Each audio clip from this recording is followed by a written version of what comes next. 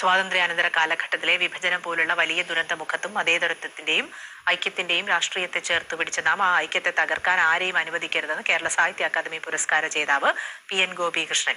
കേളി കലാ സാംസ്കാരിക വേദി റിയാദിൽ ഒരുക്കിയ സ്വീകരണ യോഗത്തിൽ സംസാരിക്കുകയായിരുന്നു അദ്ദേഹം.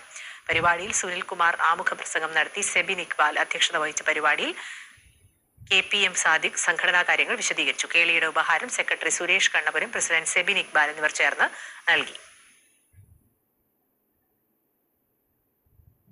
Good Hope Arts Academy, the first licensed arts academy in Jeddah. Arabian Horizon Company. We help to set up your company efficiently in KSA.